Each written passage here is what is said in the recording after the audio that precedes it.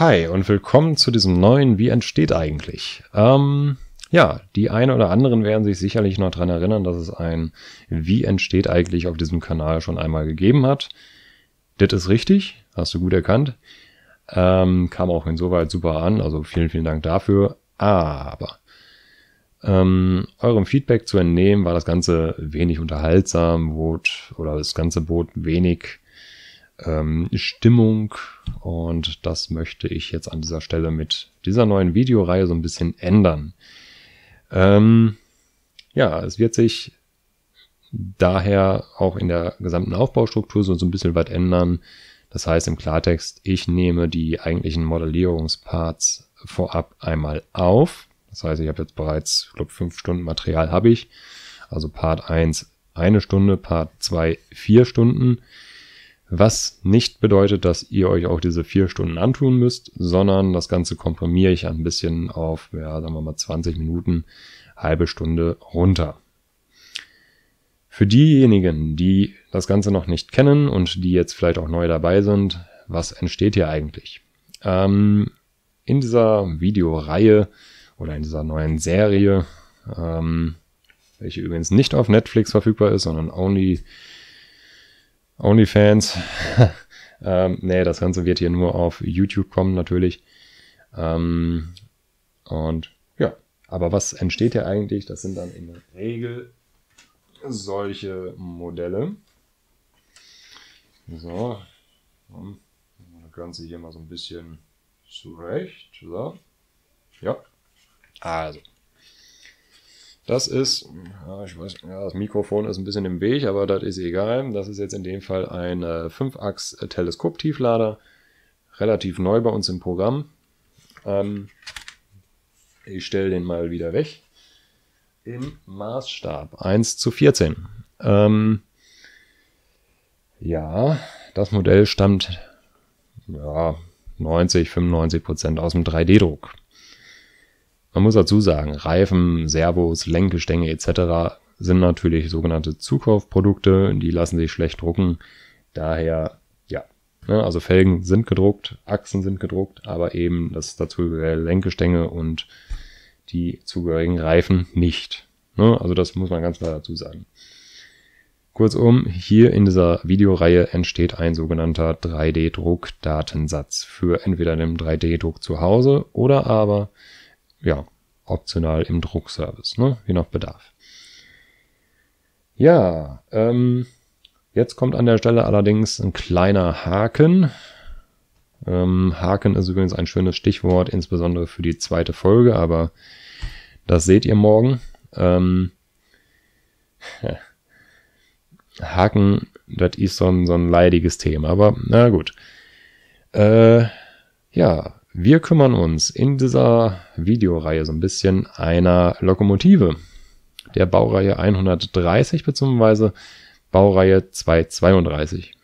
Ähm, ja, ist an und für sich mal ganz spannend. Ähm, ist auch insbesondere für die LKW-Modellbauer LKW ganz interessant. So. Ähm, Jetzt würdet ihr euch sicherlich sagen, okay, was soll ich denn mit so einem Minimodell in 1 zu 87? Ja, kann ich verstehen. Ne? Also mit so Minimodellen kann ich auch nicht viel anfangen. Ähm, es muss alles ein bisschen was größer sein. Jetzt könnte man sagen, okay, der nächste Maßstab im Modellbahnbereich, was ein bisschen was größer ist, wäre, ich glaube, 22,5 im äh, Gartenbahnbereich, aber auch das ist noch zu klein. Ich setze da noch ein paar Maßstäbe oben drauf. Ähm, ja, also wer etwas mit einem Klopper von knapp 1,50 Meter Länge anfangen kann, der sollte sich diese Videoreihe nicht entgehen lassen. Im Maßstab 1 zu 12 kommt dann ein bisschen was zusammen. Ja. Ähm, dann ja, eventuell, wobei ja, eventuell werde ich dieses Modell auch in weiteren Maßstäben anbieten. Das steht aber noch nicht fest. Das kann ich daher also an der Stelle noch nicht versprechen.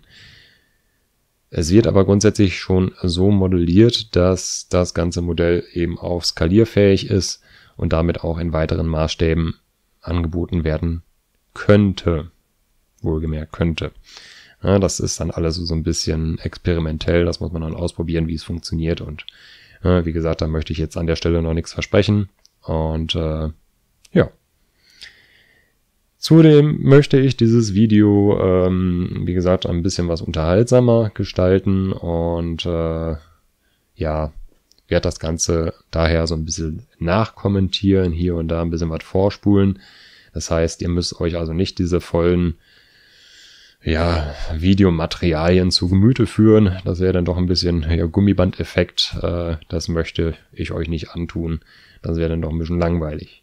Ähm, ja, ich habe hier auf meinem linken Monitor, ich gucke hier auf meinem Vorschaubild, das kann ich ganz gut sehen hier, ähm, habe ich meine Videoschnittsoftware.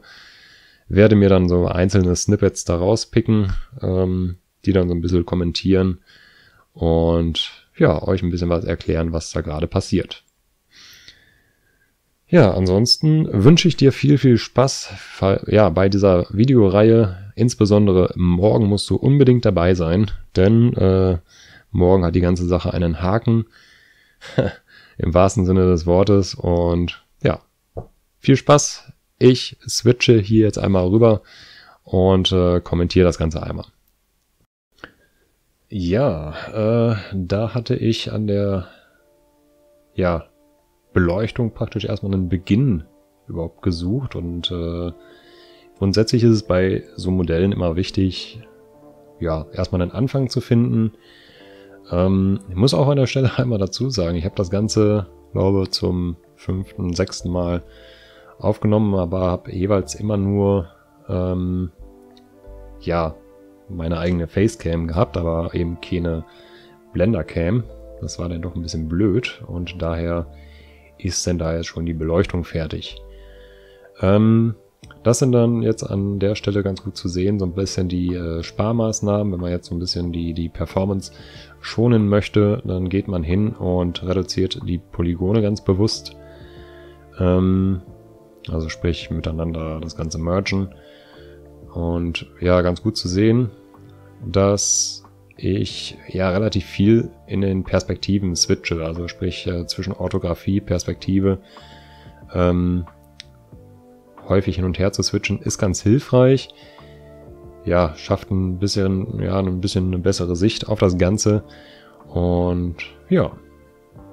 Ansonsten, was man da jetzt auch ganz gut erkennen kann, es sind bereits die Vorrichtungen für die Beleuchtung oder zumindest für diese Beleuchtungseinrichtung an dem Ganzen ähm, eingerichtet. Das heißt, da kommen dann zwei, zwei oder drei Millimeter LEDs, müsst ihr jetzt nochmal nachgucken, ähm, werden dann da eingefasst, ähm, dass das Ganze dann entsprechend auch einigermaßen authentisch beleuchtet werden kann. Ne? Also sprich, es ist zwar am Ende ein äh, Standmodell vorgesehen, ja, aber eben mit einer gewissen Teilfunktion und äh, ja. Ja, ansonsten für die äh, pfiffigen User unter euch, ihr werdet sicherlich schon im Hintergrund erkennen, dass die Drehgestelle zu eben besagter Lok bereits fertig sind. Das sind die, die ihr bei uns im Online-Shop ähm, bereits ja, erhaltet. Ja, also die sind im Online-Shop schon verfügbar. Ähm, die werden da also jetzt wieder verwendet und für die Kunden, die eben diese Drehgestelle bereits haben, können sich den späteren Datensatz dann auch unter ja, entsprechenden Abzug des Preises, den sie dato bezahlt haben, ähm, auch den restlichen Datensatz natürlich sichern. Das Ganze wird dann entsprechend auch so gestaltet, dass es miteinander kompatibel ist. So, an der Stelle habe ich jetzt angefangen, vorne das äh, Schild langsam auszumodellieren. Ähm, und ja, ich würde sagen, an der Stelle spule ich mal ein bisschen vor. Äh, das Ganze so ein bisschen in den äh, Zeitraffer zu sehen. Ähm, ja, denn das wird jetzt ein relativ langwieriger Prozess an der Stelle. Ja, also werden jetzt erstmal mehrere Unterteilungen gesetzt, als das Ganze später, weil das, das wird so ein bisschen, ja, man muss sich das, oh, Entschuldigung, man muss sich das Ganze so vorstellen. Ja, oder so. So, da ist die Cam. Ich sollte nicht auf das Vorschaubild gucken, dann äh, sehe ich auch, was ich da tue. Ähm, ich weiß nicht, ob ich da jetzt schon mit anfange. Wie gesagt, ich spule das Ganze mal ein bisschen vor, dass ihr das Ganze so ja, in Zeitraffer verfolgen könnt. Und ja, ich melde mich dann gleich wieder an der Stelle.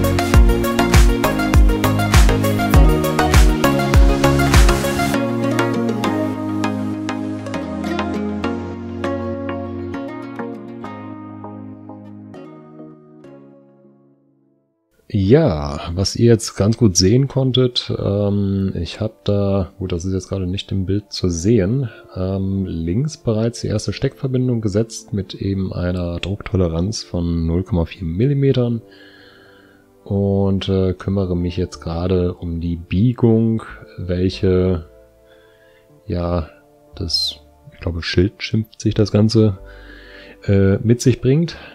Ähm, ich muss auch an der Stelle einmal ein, ja gut, jetzt kann man gerade die Steckverbindung ganz gut sehen. Ähm, ich muss an der Stelle einmal einwerfen, dass das Ganze natürlich in äh, Freihandmodellierung komplett stattfindet. Also das gesamte Modell wird in Freihand modelliert, wie all unsere Modelle. Ähm, wir haben aber natürlich das entsprechende Referenz bzw. das äh, zugehörige Bildmaterial zu dem Ganzen und ähm, können uns da dann entsprechend dran orientieren. Ja, äh, ich blende an dieser Stelle auch einmal ein Bild von dieser besagten, ich nenne es jetzt mal Bauzone, Baugruppe ein. Genau, und äh, ja. So, man kann jetzt ganz gut sehen, ähm, ich ja schiebt das alles so, so ein bisschen auf die gewünschte Position, wo es denn hin soll. Ähm, so 100% zufrieden scheine ich da nicht zu sein, denn ich schiebe mir das immer mal wieder so ein bisschen zurecht und ich glaube, ja, genau, also ich habe versucht, ähm, die Abstände zwischen den einzelnen äh, Vertices relativ gleichmäßig zu halten. Und das ist gerade im 3D-Druck relativ wichtig, da die äh, Polygonstruktur ähm, ja auch im Druck später sonst sichtbar wäre. Ja, das heißt, wir können das Ganze später unterteilen. Das, das sehen wir im Verlauf des Videos auch noch, dass ich da einen ähm, sogenannten Bevel anwende, um das Ganze noch stärker zu unterteilen. Und ja, richtig. Ähm, an der Stelle kann man jetzt ganz gut sehen, dass ich mir da eine Hilfslinie gezogen habe, die ich jetzt gerade wieder gelöscht habe. Ähm, diese dient im Grunde, wie der Name schon sagt, eigentlich lediglich als Hilfslinie und soll das Ganze so ein bisschen unterstützen ähm, in der Hilfestellung, dass ich dann weiß, okay, wo muss was hin. Und äh, ja. Genau.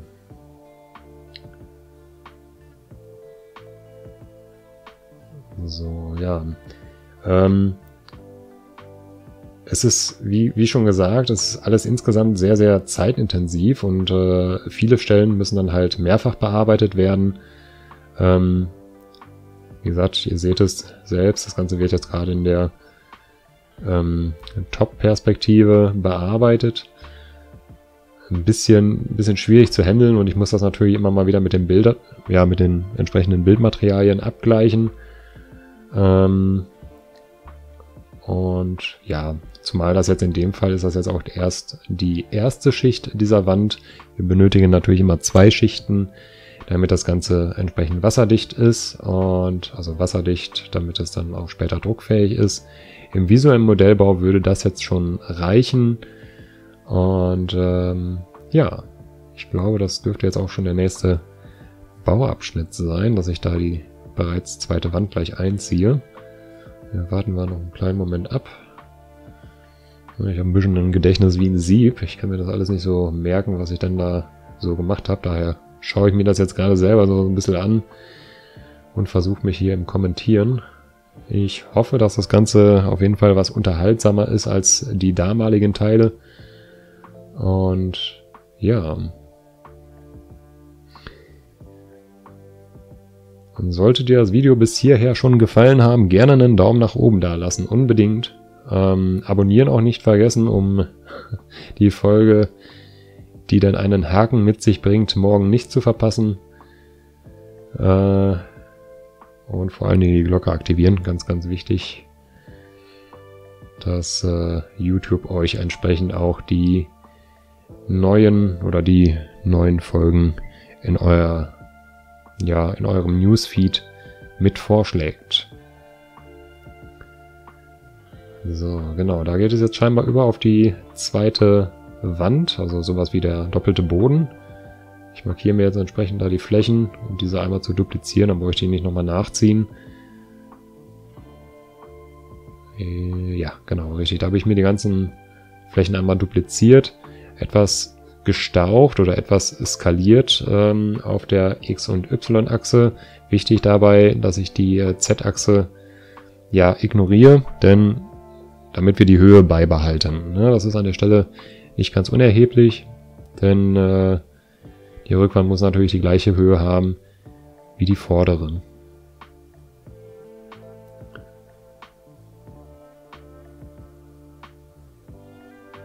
So, genau.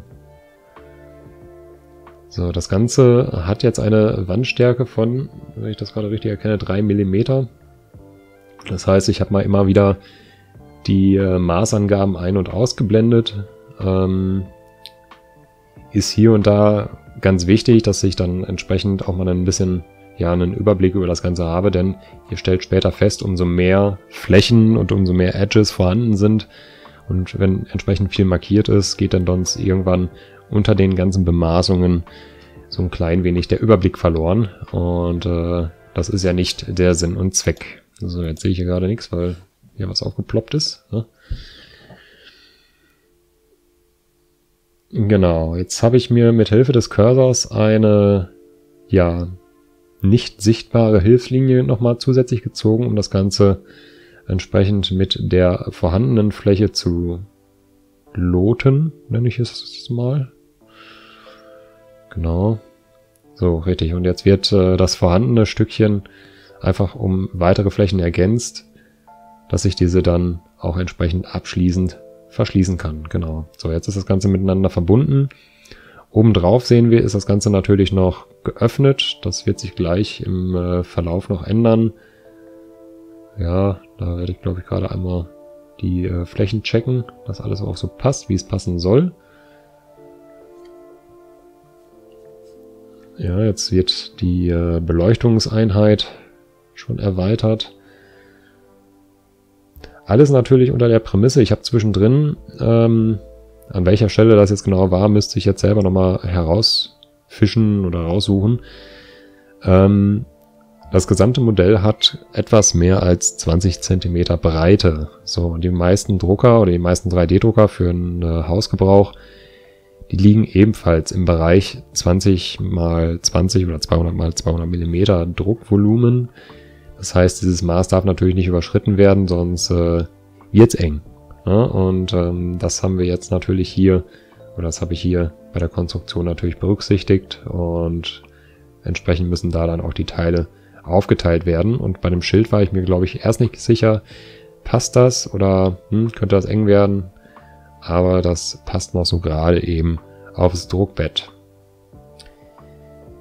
So, auch hier ist es wichtig, ähm, Wir sehen es jetzt zum Beispiel die, die äußere Wand äh, im Vergleich zur inneren. Wir müssen natürlich ein gewisses, äh, ein, ein gewisses, vor allen Dingen, ein gewisses Maß, ein gewisses Maß einhalten, ähm, damit das Ganze dann später nicht zu dünn wird. Wir sehen es, wie gesagt, am unteren Abschnitt. Da hatte ich jetzt kurzzeitig einmal ausprobiert, wie das Ganze wirkt, wenn man das was breiter macht, aber das habe ich dann im Nachgang auch gelassen, weil ich festgestellt habe, okay, das ist nicht sehr schlau. Ähm, und daher, naja. Genau. Ich weiß jetzt nicht genau, ob ich das da jetzt schon verschließe. Ich glaube, ich glaube ja. Ja, tatsächlich, genau. Der, der Boden der Beleuchtungseinheit wird jetzt entsprechend verschlossen. Oben. Und dann kann ich das Ganze mit einer sogenannten Loop-Selektion vollständig markieren und dann entsprechend weiter verschließen. So, jetzt ist natürlich die Rückwand der Beleuchtungsfassungen, ja, richtig, da kümmere ich mich jetzt drum, die war jetzt verschlossen und äh, damit das Ganze natürlich auch einen ja, geschlossenen Volumenkörper ergibt, muss das Ganze so nochmal miteinander verbunden werden, dass das Ganze auch zugänglich bleibt. Hier bereite ich jetzt schon eine ähm, Stellfläche vor. Das hat den Vorteil, dass man das Ganze später mit entsprechenden Kontaktpunkten oder Verbindungsstücken ähm, ja auch miteinander verbinden kann. Das sieht man jetzt hier, dann werde ich mir das, ja richtig, das Ganze heraus extrudieren. Rückseitig werde ich da oder innenseitig die Flächen löschen und das Ganze, weil es noch nicht verbunden ist, noch miteinander mergen. Und ja, damit haben wir jetzt eine ja vorbereitete oder zur Extrusion vorbereitete Fläche.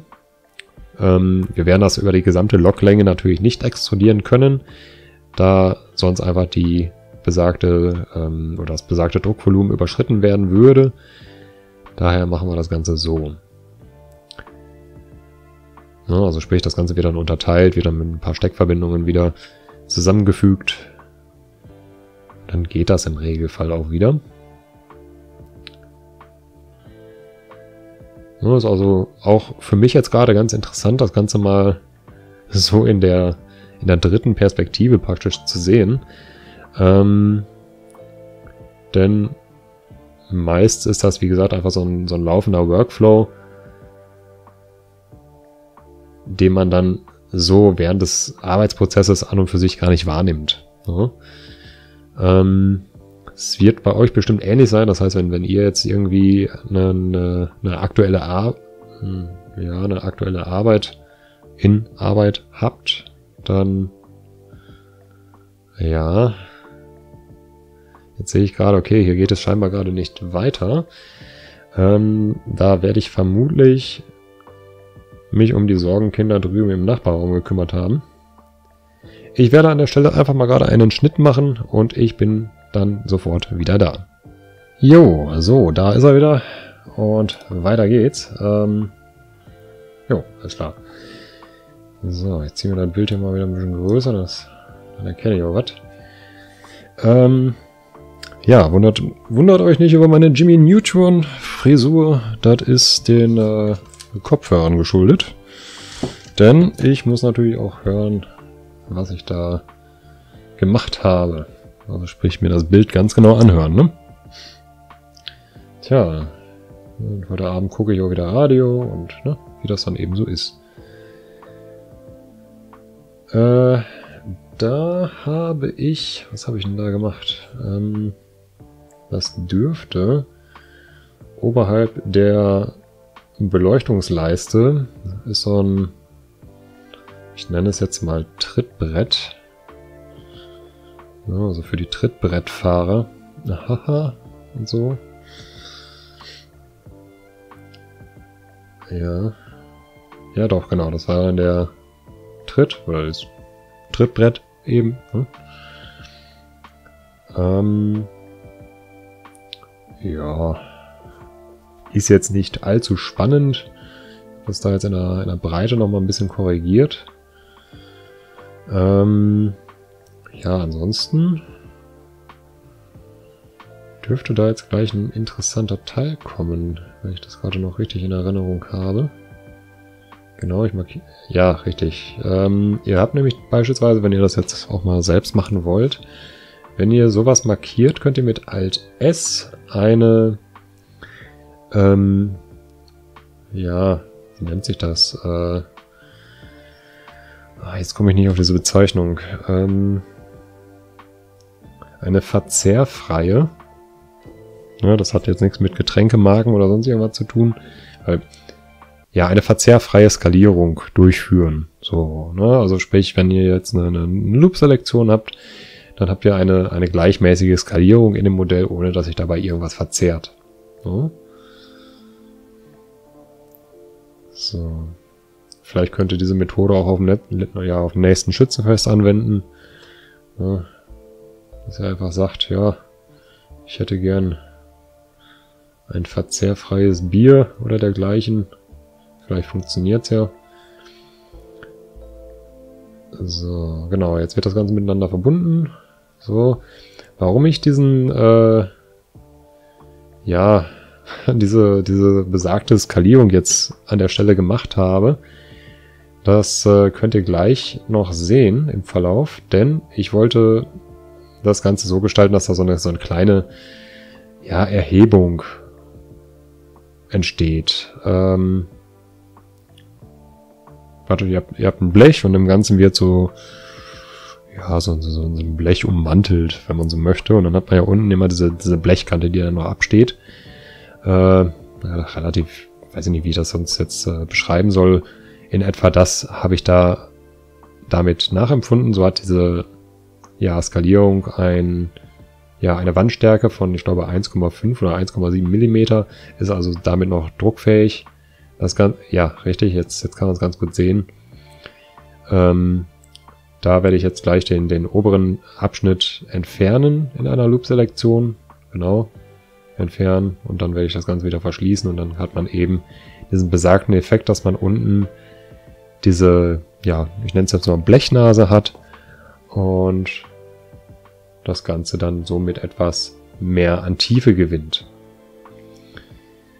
So, genau. Und an der Stelle spule ich jetzt einfach nochmal ein bisschen vor. Ne? Genießt einfach ein klein wenig die Bilder. Wir stehen jetzt auch schon bei ja, knapp einer halben Stunde. Ich will mal gucken, dass ich die äh, künftigen Folgen alle, wie gesagt, so auf 20 Minuten, halbe Stunde reduziert bekomme.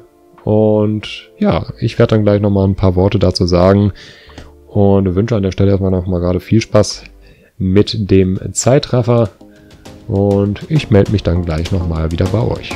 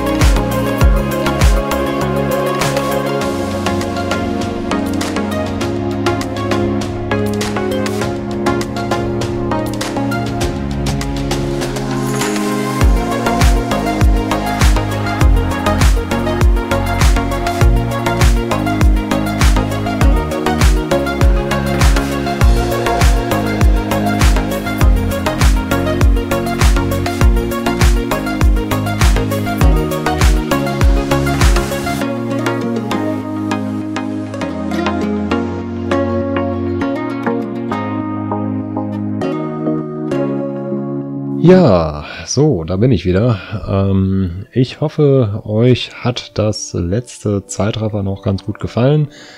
Ähm, ja, war so ein bisschen beschleunigt auf, ich glaube, die achtfache Geschwindigkeit oder so, aber das könnt ihr ganz gut unten rechts in der Ecke anhand der Uhr erkennen, wie viel Zeit für ja, das bisschen Arbeit drauf ging.